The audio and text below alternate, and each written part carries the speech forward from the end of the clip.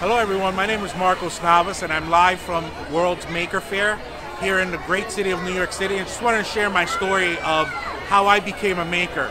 Uh, it actually all started uh, about four or five years ago when I bought my house and happened to move next door to one of the biggest 3D printing gurus uh, who was already ma uh, manufacturing his own uh, product in, the, in his basement.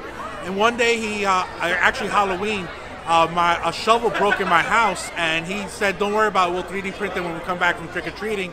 Laughed it off like it was a joke, and then when he brought me into his workshop, my eyes and mouth dropped, and he literally 3D printed a top to my shovel.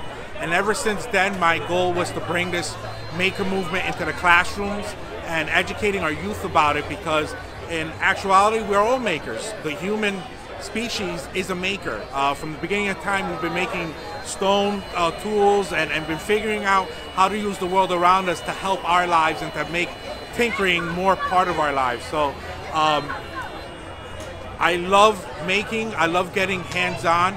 More importantly, I like showing others the power behind that.